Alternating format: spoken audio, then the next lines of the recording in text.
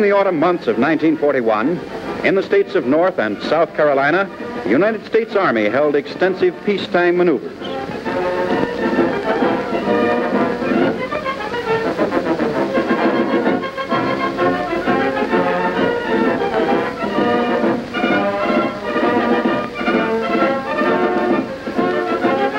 Every component of every service was represented.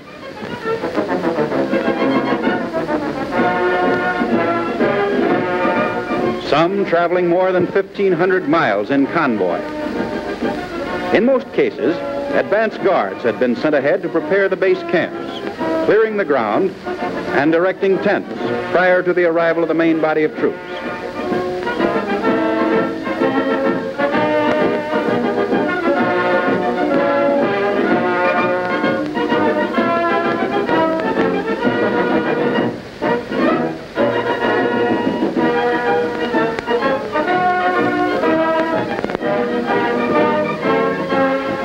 Engineers had arrived early in order to set up adequate supplies of purified water, drawn from the available natural sources.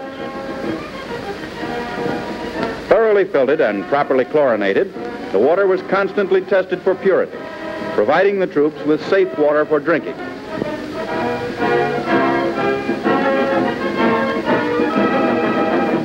The Signal Corps had also gone in advance of the rest to construct a vast network of communication lines throughout an area normally lacking in adequate wiring.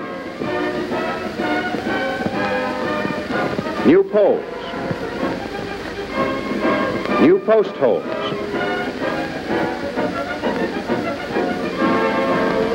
and hundreds of miles of new telephone wire were necessary for the elaborate military phone system and for the teletype machines. Camps were soon established. Shower systems were made available to dusty troops. Lining up for chow, the soldiers eat food prepared in field kitchens.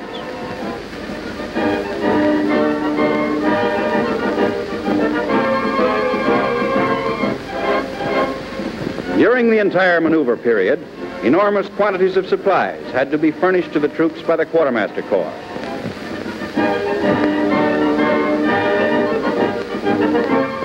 Base railheads were established throughout the area for the distribution of all sorts of food supplies to the various camps and regimental supply depots.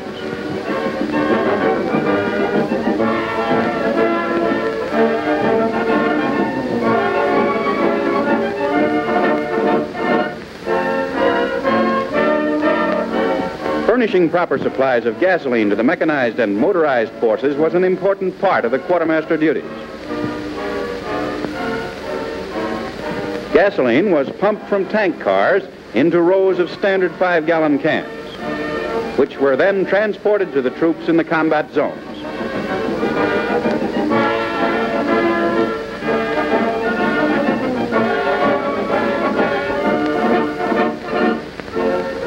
Within the theater of operations, maintenance of replacements and repairs for damaged equipment was of great importance. Field tool shops were maintained close to the fighting zones.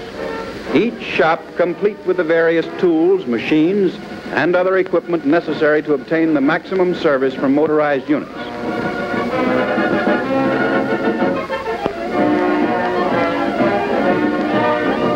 Throughout the area, base and evacuation hospitals were set up for the treatment of both technical and actual casualties. A real casualty a broken ankle is brought to an evacuation hospital for setting. When the cast has been carefully set, the soldier is transported to a base hospital for convalescence.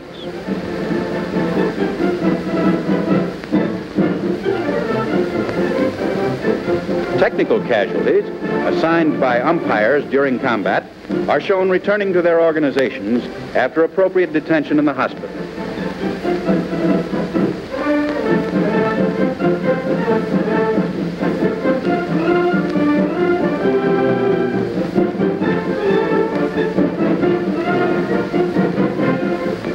camouflaged, extensive munition dumps were maintained by the Ordnance Department.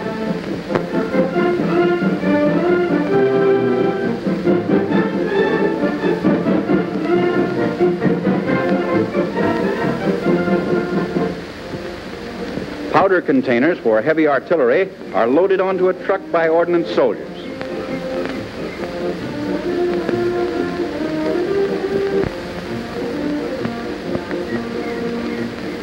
In the field, the Signal Corps maintained vital combat communications networks with highly trained message center operators relaying information over miles of wire, while technicians tested and maintained telephone efficiency. Between a command post field radio and an operator in the field, communications are maintained.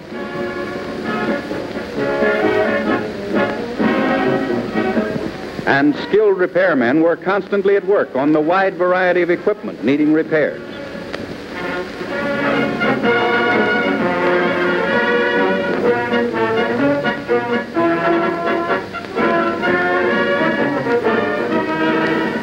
Guns of many sizes and types were used tactically by the field artillery.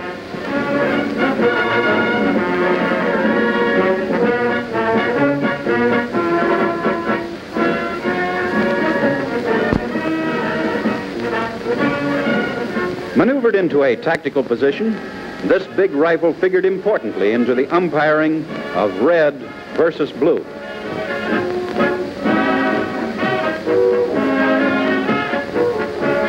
The barrel is raised to a designated position and, theoretically, fired. In similar action, an anti-aircraft crew pumps practice shells into its gun. While elsewhere, an artillery crew fires its howitzer with precision.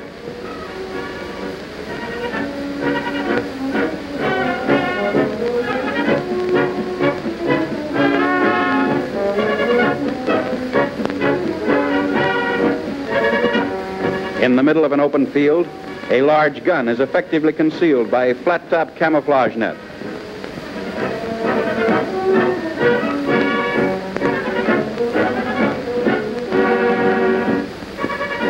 Behind the lines, a horse-drawn field artillery battery leaves its base camp and files down a road toward the zone of combat.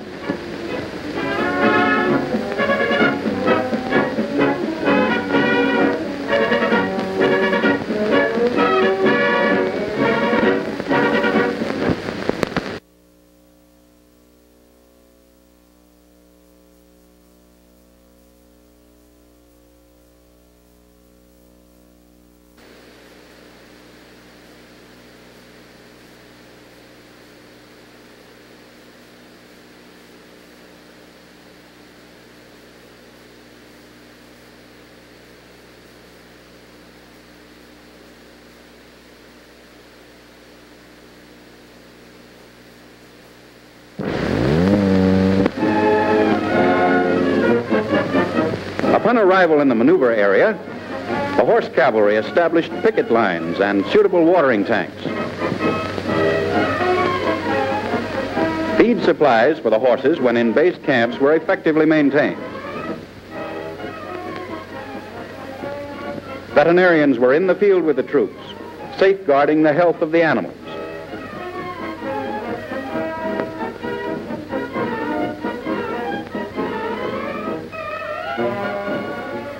A cavalry troop threads its way through a wooded sector on a reconnaissance mission.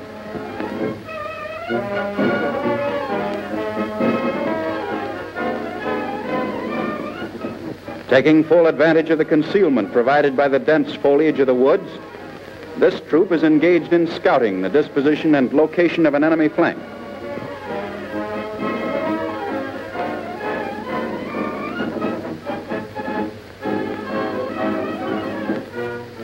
Crossing a small stream, they emerge onto a Carolina road.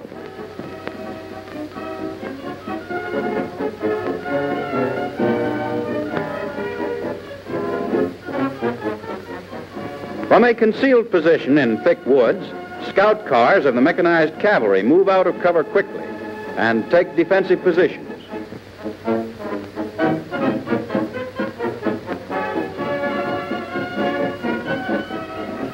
In a major infantry attack, a section of infantry soldiers advances by rushes across a cotton field. Notice how each man takes advantage of natural cover.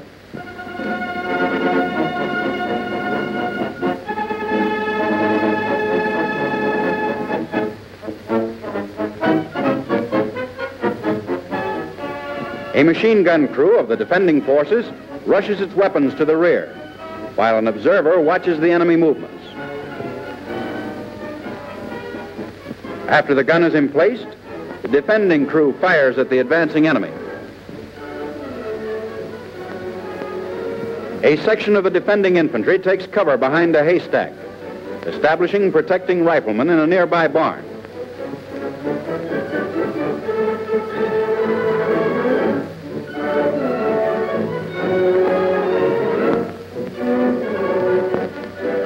In a large-scale river crossing operation, a crew of soldiers launches a heavy assault boat.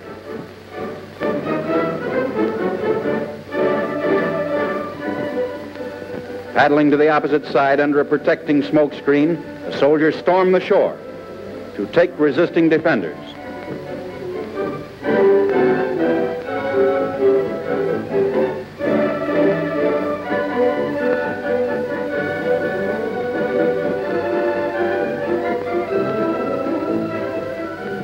37 millimeter anti-tank gun is ferried across and brought ashore to give protection to engineer troops as they construct a footbridge.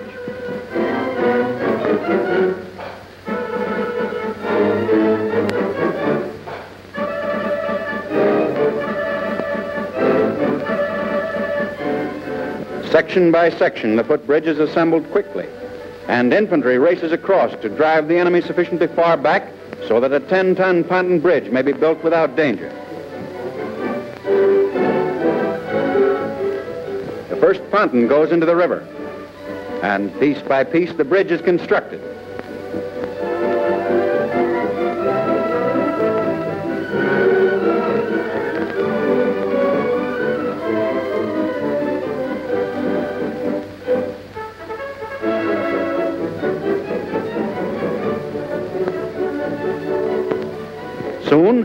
Motorized vehicles are rolling across to continue their advance. Elsewhere, beside a technically demolished bridge, engineer troops build a timber trestle across a small stream.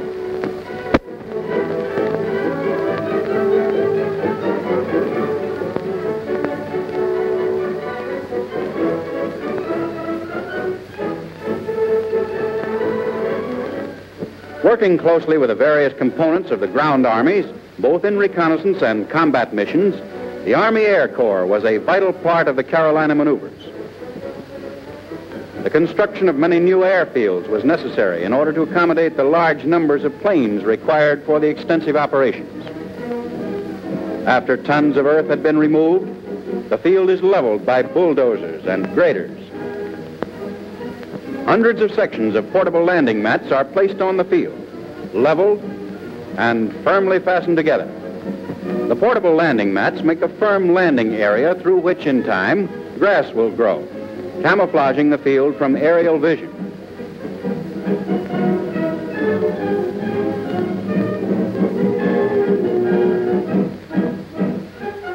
A plane comes in for a landing on the new airfield and turns around. It takes off again after proving the field ready for use as a major airfield, capable of sustaining even the heaviest bombers.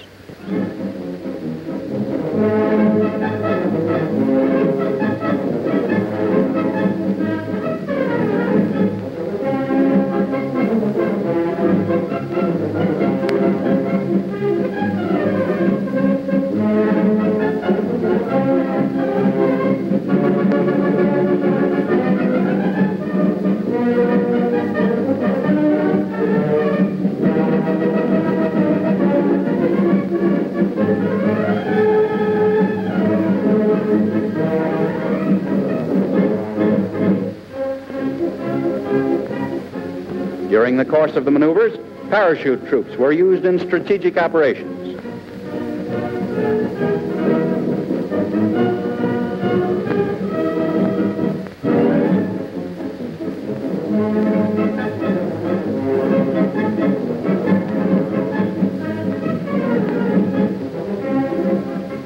Elsewhere, in an attack by airborne infantry, a fleet of big Army transport planes roars in for a landing.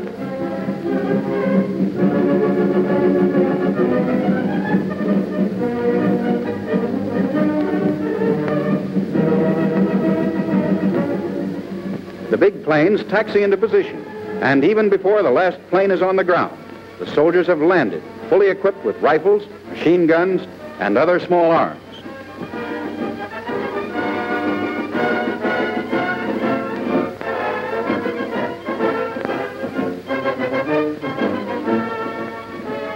From every plane, the men alight and run for cover of the nearby woods. In their advance, these men should have dispersed, seeking cover as rapidly as possible, as is done by these soldiers in a similar action.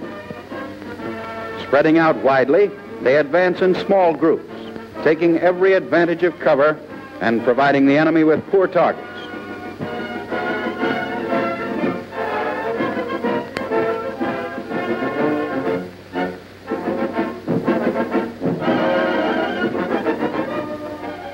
Instead, and taking no cover, using no concealment, the airborne soldiers bunch together as they advance. So closely, in fact, that one well-placed enemy shell or grenade could make casualties of almost every one.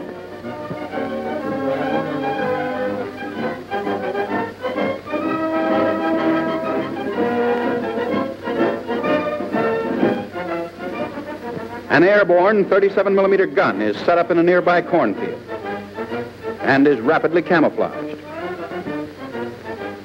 The rifleman on the road is of little protection to the gun crew, for he has failed to take proper cover.